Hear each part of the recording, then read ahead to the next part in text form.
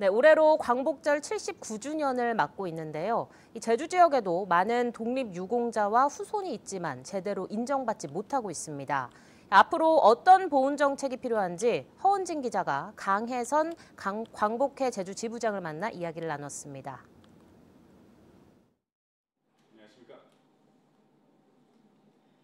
광복회 제주특별자치도 지부장 강혜선입니다. 올해 광복절 어떤 의미를 갖고 있습니까? 오랜 고통 끝에 저희 국민들이 광복을 맞은 제 79주년을 맞는 해입니다. 모든 국민과 도민들이 환호 속에 기쁨을 나눠야 된다는 의미를 갖고 있습니다.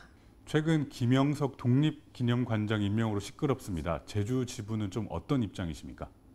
어, 역사와 전통을 반하는 인물입니다. 이런 인물이 독립기념관장으로 임명된다는 것은 저희 독립유공자 후손으로서 애통하기 짝이 없습니다. 그리고 취임식 날 어, 반민족 행위자를 제일 1호로 명예회복을 시켜주겠다고 하신 분이 독립기념관장이 된다는 것은 어불성설이라고 생각하십니다. 제주에 독립운동가가 500분 정도 되는 걸로 알고 있는데 서운을 받으신 분들은 215분 정도로 알고 있습니다. 어, 왜 그런 겁니까? 수영 기록도 찾아야 되고요. 독립운동 한 사실도 직접 이제 후손들이 찾아야 되기 때문에 이런 어려움이 많고요. 또 후손들이 자기 후- 어, 선조가 독립운동을 했다는 사실조차도 모르는 분들도 많이 계시고 있습니다. 그 유족이 없는 분들도 계시잖아요.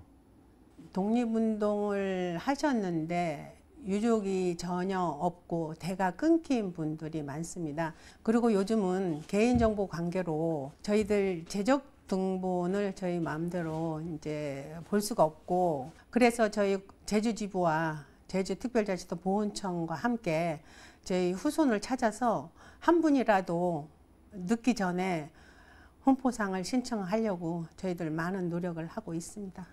네, 오늘 시간 내주셔서 감사합니다.